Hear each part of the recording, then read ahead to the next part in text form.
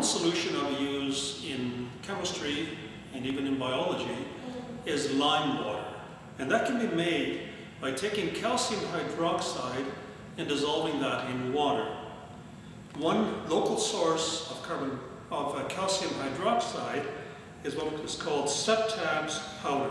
This is available in hardware stores and we can just take some of that powder which you find inside the box in the plastic bag and take a scoopful of that and put that into a bottle, a juice bottle.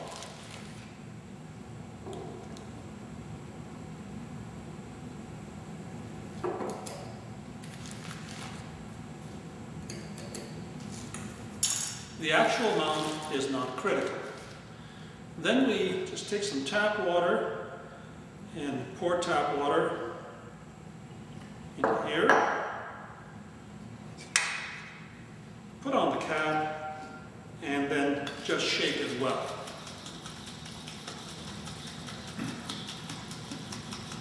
And you get a rather milky suspension of calcium hydroxide in water.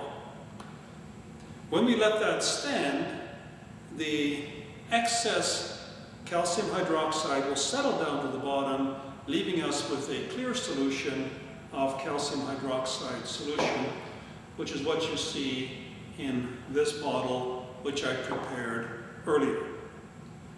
You can just let it stand overnight, and you then have this clear solution. Note the label on the box. Caution, prolonged contact with wet skin may cause burns. Contains hydrated lime or calcium hydroxide. This material is used in septic systems to keep the septic bed active and clean. I'll now take a small amount of the calcium hydroxide solution and pour that into a test tube.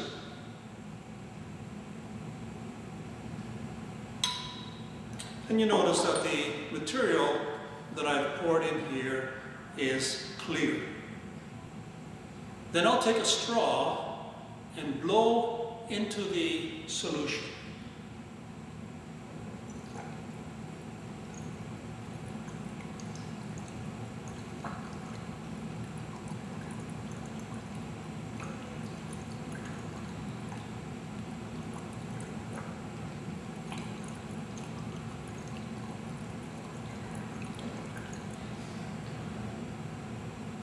And as I blow, you'll notice that the solution turns cloudy. This cloudiness is due to the presence of the carbon dioxide in my breath reacting with the calcium hydroxide in the water as seen in the following chemical equation which I'll do on the board.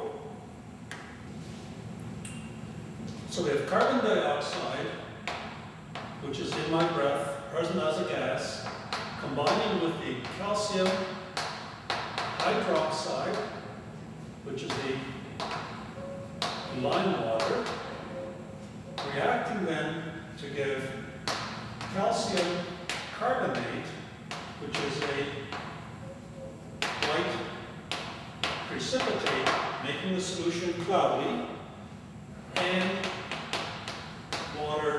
as a second product. So carbon dioxide in my breath reacts with the lime water to form a white precipitate of calcium carbonate, which makes the water turn cloudy. And this is a positive test, a common test for carbon dioxide. We'll be using that in some of the other demonstrations as well.